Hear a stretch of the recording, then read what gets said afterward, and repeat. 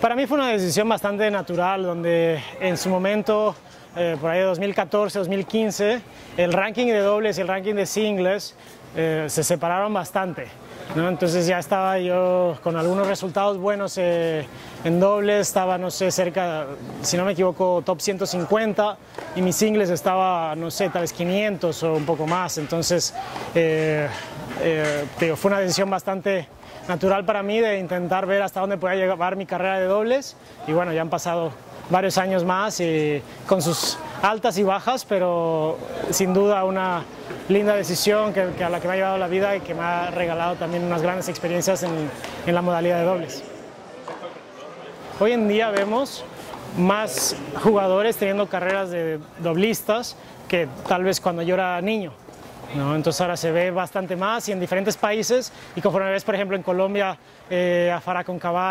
eh, en México bueno, está Santiago González que, que, me tocó ver cuando yo salgo de la universidad y estoy jugando singles, en Brasil Melo, Soares, en su momento Andresa, etc. O sea, una gran camada de jugadores doblistas en Latinoamérica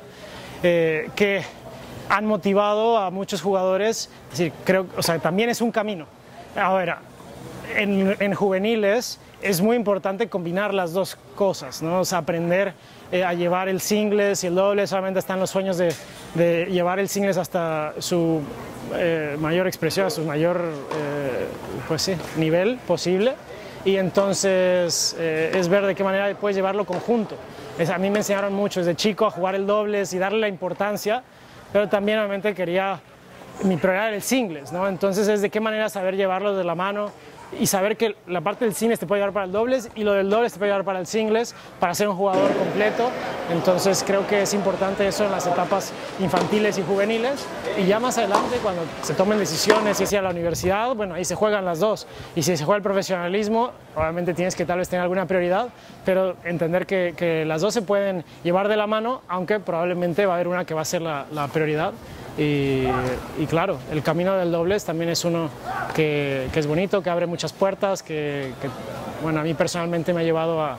grandes experiencias a lo largo de, mi carrera y por todo el mundo, entonces estoy bastante agradecido con,